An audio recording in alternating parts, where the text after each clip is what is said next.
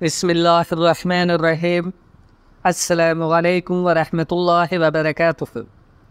पुराने दिनों का ज़िक्र है कि किसी मुल्क में एक बादशाह बड़ा ालिम और दिल का सस्ता वो ज़रा ज़रा सी बात पर लोगों को बड़ी सख्त सजाएँ दिया करता और अक्सर बेगुनाहों को जान से मरवा डालता।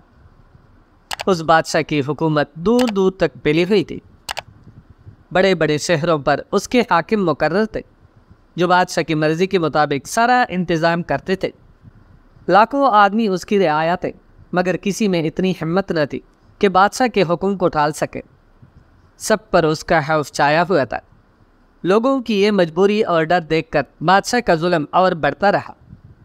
यहाँ तक कि लोगों को सताते सताते उसे ये ख्याल रहने लगा कि मैं कोई बुराई नहीं कर रहा हूँ। जो कुछ कर रहा हूँ, सब कुछ ठीक है। बल्कि असल में मुझसे कोई गलती होती ही नहीं।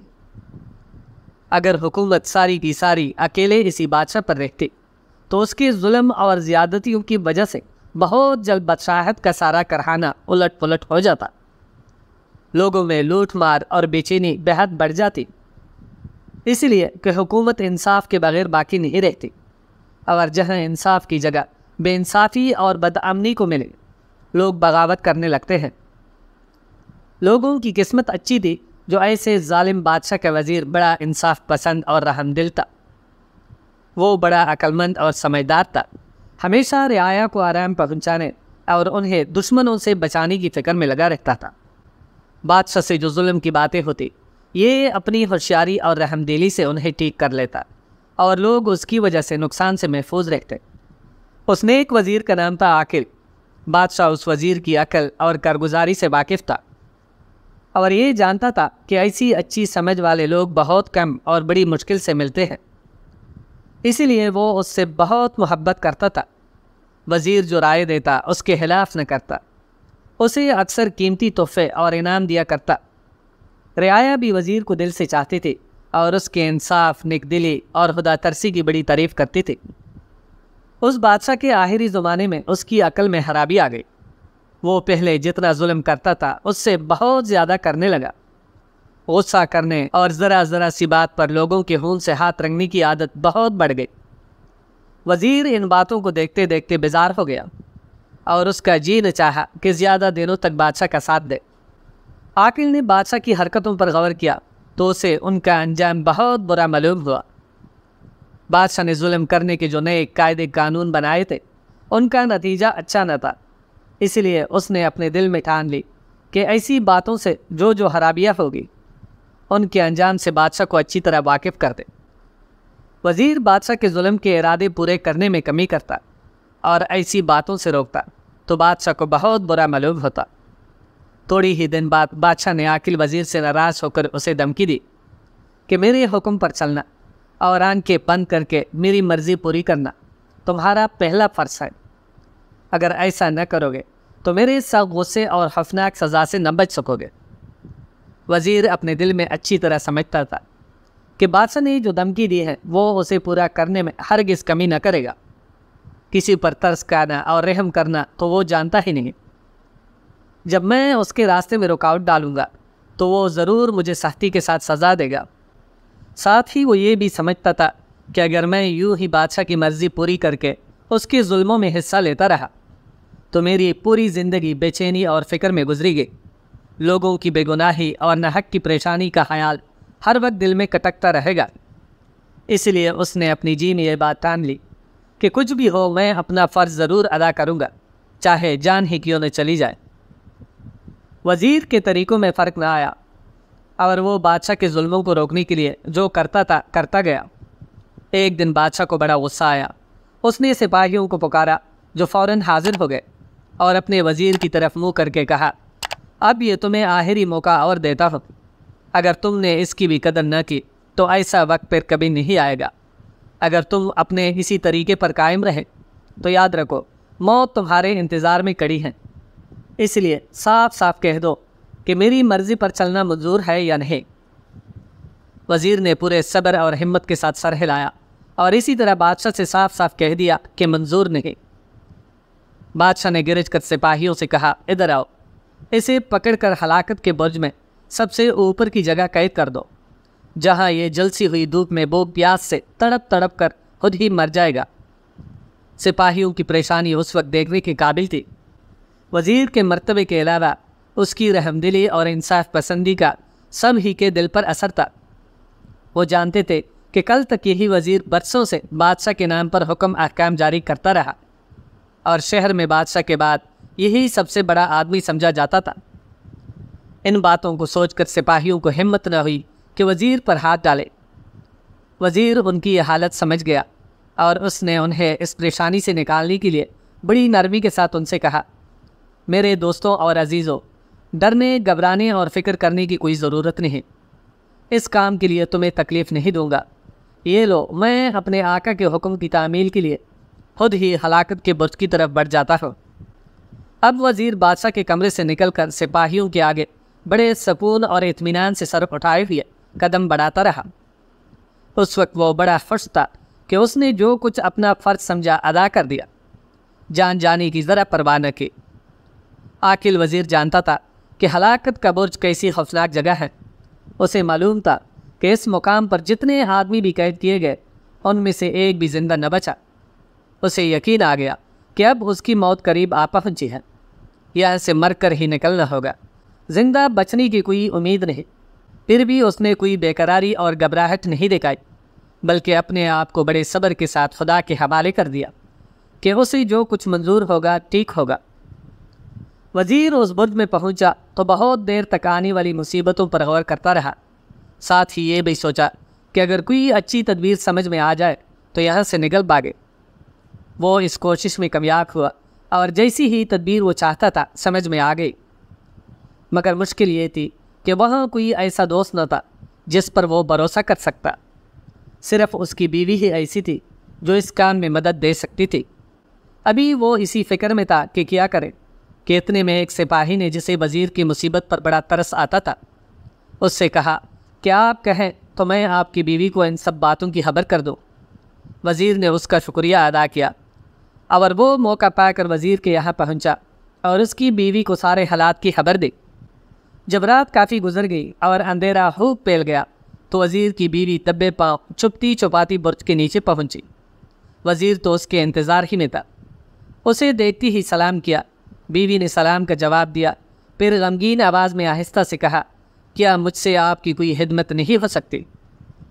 वज़ीर ने धीरे से जवाब दिया खूब हो सकती हैं, मगर असल काम कहने से पहले मैं तुम्हें नसीहत करता हूँ कि सबसे पहले तो सब्र से काम लो और खुदा पर दिल से भरोसा करो ताकि हमारी ये कोशिश कामयाब हो।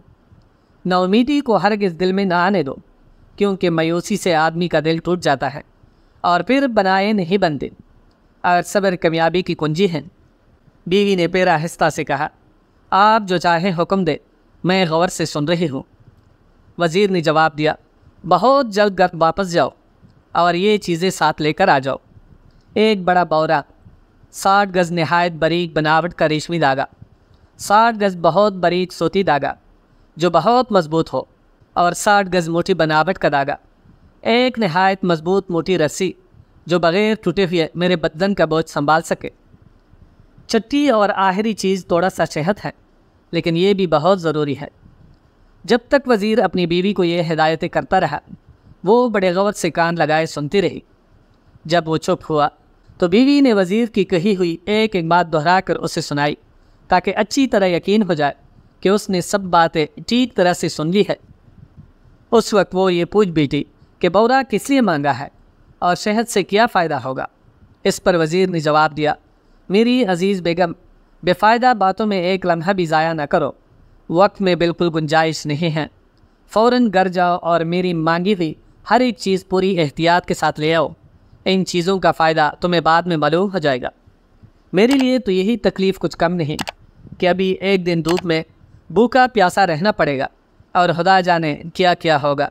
वज़ीर की बीवी ने वक्त बिल्कुल ज़ाया ना किया और उसी वक्त जल्दी जल्दी अपने घर रवाना हो गई।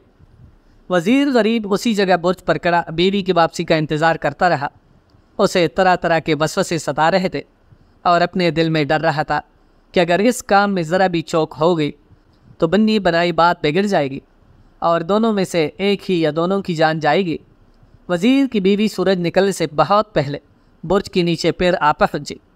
वज़ीर ने जैसे ही उसकी मोहब्बत भरी आवाज़ सुनी तो उसे फ़ौर जवाब दिया वक्त बहुत कम रह गया था, इसलिए वो अपनी बीवी से पूरी तदबीर एक साथ बयान न कर सका।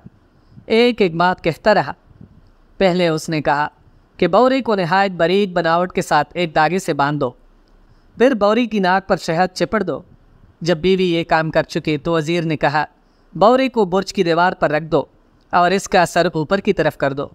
बौरी को मालूम नहीं होगा कि शहद उसकी नाक पर चिपड़ा गया है, उसकी बूझ सूंघता रहेगा और ये समझेगा कि दीवार के ऊपर शहद की मक्की का छत्ता होगा। वो वहाँ तक पहुँचने के लालच में बराबर ऊपर की तरफ़ चकता रहेगा। यहाँ तक कि बुर्ज की चोटी पर आ जाएगा। बीवी ने कहा, ठीक है। बीवी ने बिल्कुल वैसा ही किया। बौरी की नाक पर शहद चपट दिया और उसके साथ दागा बाँध दिया। बौरा बुर्ज के दीवार पर चढ़ता हुआ ऊपर चला तो बीवी ने उसकी हदर वज़ीर को दी। अब वज़ीर ने कहा, बौरा जिस दागे से बंधा हुआ है, उसे डील देती जाओ, ताकि वो आसानी से ऊपर आ सके। और हाँ खबरदार, दागे का दूसरा सिरा हाथ से न छोड़ देना, वरना सारा खेल बिगड़ जाएगा। और यहाँ से चोटनी की उम्मीद जाती रहेगी। बौरा धीरे धीरे चढ़ता हुआ बुद्ध की चोटी पर जा पहुँचा। ठीक उसी वक्त सुबह की रोशनी फैलती हुई मालूम हुई। इस कामयाबी से वज़ीर खुशी से पुला न समाया, मगर उसने किसी बेकार बात में वक्त ज़ाया न किया और फ़ौर बौरे को अपने हाथ से पकड़ लिया। फिर बीवी से कहा हाँ शाबाश, अब जल्दी से सूती दागे का सिर्रा रेशमी दागे से बांधो। जब वो बाँध चुकी तो वज़ीर ने रेशमी दागा आहिस्ता आहिस्ता खींचा यहाँ तक कि सूती दागे का सिर्रा हाथ में आ गया। अब वज़ीर ने कहा, अब मोटे दागे का सिर्रा सूती दागे से बांधो। उसने ऐसा ही किया। वज़ीर ने उसी भी केंच कर मोटे दागे का सिर्रा अपने हाथ में ले लिया। अब वज़ीर की बीवी शोहर का मतलब अच्छी तरह समझ गई थी। इसलिए उसने वज़ीर के कहे बगैर मोटी दूरी के सिर्रे से रस्सी बांधी। वज़ीर ने उसे जल्दी से ऊपर खींच लिया। जब इस तरीके से मज़बूत रस्सी उसके हाथ में आ गई और कैद की मुसीबत से छूटने का ज़रिया काबू में आया तो उसका चेहरा खुशी से चमक उठा। मगर अब भी उसने अपना काम बराबर जारी रखा। रस्सी को बुर्ज की चोटी से बांधकर पूरी ताकत से हिलाया, ताकि उसकी मजबूती का इत्मीनान हो जाए। उसके बाद रस्सी पकड़कर वही लटक गया। जब रस्सी की मजबूती और बनावट का दोबारा यकीन हो गया तो उसने रस्सी को पकड़कर उसके सहारे नीचे उतरना शुरू किया। यहाँ तक कि रस्सी पकड़े पकड़े वो ज़मीन पर आ पहुँचा। अब वो फिर पहले की तरह आज़ाद था। बीवी उसे आते देखकर खुशी से बेचैन हो गई। फिर ये दोनों खूब गले मिले। उसके बाद दोनों मियाँ बीवी बड़ी तेज़ी से एक पहाड़ के करीब एक गार की तरफ़ चल करे हुए, ताकि दिन वहाँ गुजारे। और जब रात आए तो फिर भागते भागते किसी दूसरे शहर में जा बसे और वहीं रहने लगे। इधर जालिम बादशाह पर जो कुछ गुजरी, वो एक ऐसा वाक़ है जिस पर मुश्किल से ही यकीन आ सकता है। बादशाह ने वज़ीर को सज़ा तो दे दी, मगर वज़ीर को सज़ा देने के बाद उसे गमों और सदमों ने चारों तरफ़ से घेर लिया। वो बहुत पिताया कि मैंने नहक इतनी जल्दी की। अब दुश्मन जो हर तरफ़ से गिरे हुए हैं, उन्हें किस तरह से दफ़ा किया जाए? और इतने होशियार और कारगुजार वज़ीर को को देने के बाद मुल्क के इतने बहुत से काम कैसे होंगे? वो इन बातों को जितना सोचता, उतनी ही परेशानी बढ़ जाती। इसी फ़िक्र में उसे रात भर नींद न आई। सुबह होती ही आंग लगी तो उसने हाथ देखा कि एक छोटा सा बौरा एक दीवार पर चढ़ रहा है और वो रेशम और सूत के लंबे लंबे दागों और रस्सियों में लिपटा हुआ है। फिर उसने देखा कि बौरा चढ़ते चढ़ते दीवार के ऊपर जा पहुँचा और उसने उन दागों और रस्सियों को खोलना और पिलाना शुरू किया। उनके खोलने से एक खुशखत फिक्रा बन गया। उसे पढ़ा तो ये लिखा था इंसाफ बादशाही की बुनियाद है। फिर अपने सामने देखा तो कैदी वज़ीर को अपने तख्त पर बैठा हुआ पाया। इस ख्वाब से बादशाह इतना घबराया कि आन खुल गई। ख्वाब को याद करके बड़ा परेशान हुआ। घबरा कर पहरेदारों को आवाज़ दी और हुक्म दिया कि हलाकत का बुर्ज खोला जाए। जैसे ही बुर्ज का दरवाज़ा खुला, बादशाह बड़ी तेज़ी से उसकी चोटी की तरफ़ बढ़ा। रास्ते में उसे वही बौरा नज़र आया, जिसे वो ख्वाब में देख चुका था। अब तुम्हारे दहशत के उसके हवास जाते रहे। पाँव रखता कहीं था पड़ता कहीं और था अब उसे ख्याल आया कि कैदी वज़ीर को तलाश किया जाए। बुर्ज का कोना कोना छान मरा, लेकिन वज़ीर का कहीं पता न लगा। वज़ीर की तरफ़ से दियान हटा तो क्या देखा कि एक रस्सी बुर्ज की चोटी से बंधी हुई नीचे की तरफ़ लटक रही है। फ़ौरन बगैर सोचे समझे बुर्ज के कंगर की तरफ़ जपटा, ताकि इस वाक़ का ज़्यादा से ज़्यादा खोज लगा सके। ज़रा और कदम आगे बढ़ाया था कि पाँव पिसला और वो बुर्ज पर से गिर कर ज़मीन पर आ रहा। नीचे पहुँच कर उसकी हड्डियाँ चूर चूर हो गई। लोगों ने देखा तलाश इतनी बिगड़ चुकी थी कि पहचानना मुश्किल हो गया। ये खबर ऐसी थी कि बिजली किसी तेज़ी के साथ मुल्क के इस सिरे से उस सिरे तक फैल गई। हर तरफ़ खुशी मनाई गई। लोगों ने शुक्र के सज्जे अदा किए कि खुदा ने बड़े ालिम और मौजी बादशाह से निजात दिलाई। जिसने सुना इतमान का सांस लिया। उसके बाद ये फ़िक्र हुई कि अब बादशाह किसे बनाया जाए? फ़ौर वज़ीर आकिल का ख्याल आया और लोग हर तरफ़ दौड़े कि जहाँ पत्ता मिल सके तलाश करके उसे ले आए। इधर तो वज़ीर की तलाश जारी थी और उधर रियाया महल के चारों तरफ़ जमा होकर नारे लगा रही थी। वज़ीर आकिल बादशाह है, सुल्तान आकिल जिंदाबाद, बादशाह आदिल जिंदाबाद। उस वक्त लोग खुशी से दीवाने हुए जा रहे थे। और बार बार कह रहे थे कि हमारे बादशाह को जल्द लाओ। हम वज़ीर आकिल के सिवा किसी की बादशाही नहीं चाहते। ये देखकर सल्तनत के बड़े बड़े अमीरों ने वज़ीर आकिल के बादशाह होने का ऐलान कर दिया और लोगों को इत्मीनान दिलाया कि बादशाह सलामत बहुत जल्द आने वाले हैं।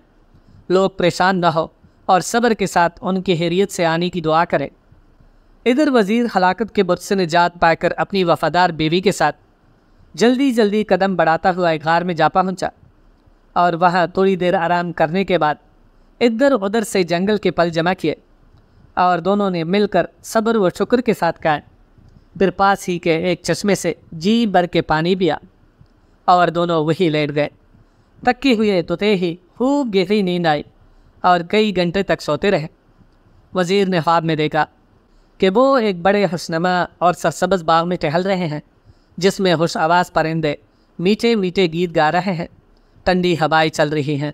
बाग के बीच में एक सुनहरा तख्त बेचा हुआ है, जिस पर हर तरफ़ हीरे जवाहरात जुड़े हुए हैं और इस पर एक गोल शमियाना छतरी की तरह साया किए हुए हैं।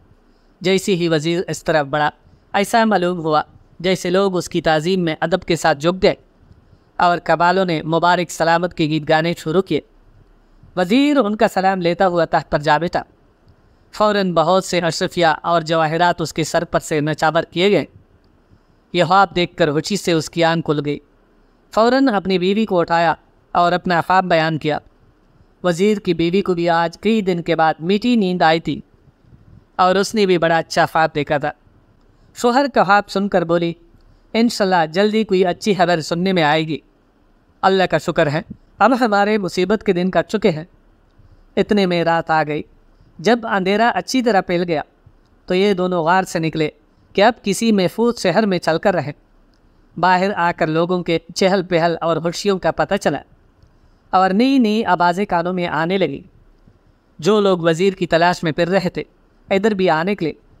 वज़ीर की बीवी ने उनमें से एक से पूछा, ये कैसा शोर मचा हुआ है? लोग किस बात की खुशी मना रहे हैं? उसने सारा वाक्य बयान किया। बीवी ने फ़ौर मियाँ को खबर की और अब ये दोनों किसी और शहर की तरफ़ जाने के बजाय खुद अपने ही शहर की तरफ़ लौट पड़े। जैसे ही लोगों ने वज़ीर आकिल को बदशाही महल की तरफ़ आते देखा फ़ौर खुशी के नारे बुलंद किए और सुल्तान जिंदाबाद, बादशाह पाइंदाबाद के शोर से आसमान सर पर उठा लिया। उनके इस तरह मिल जाने पर रियाया ने जी कोल कर जश्न मनाया। तमाम शहर में चरागा किया गया और कई दिन तक दावतें होती रही। फ़कीरों और मस्किनों को काने खिलाए गए। और कपड़े और रुपया तकसीम किया गया। उसके बाद पूरे मुल्क में ऐलान हो गया कि अब से इस मुल्क के बादशाह सुल्तान आकिल है। सारी रियाया पर उनका हुक्म चलेगा। वज़ीर आकिल की इस कामयाबी ने सबको यकीन दिला दिया कि हमेशा सच्चाई और इंसाफ की जीत होती है और जो हाकिम रियाया के साथ जुल्म करते हैं, वो अपने हक में कांटे बोते हैं।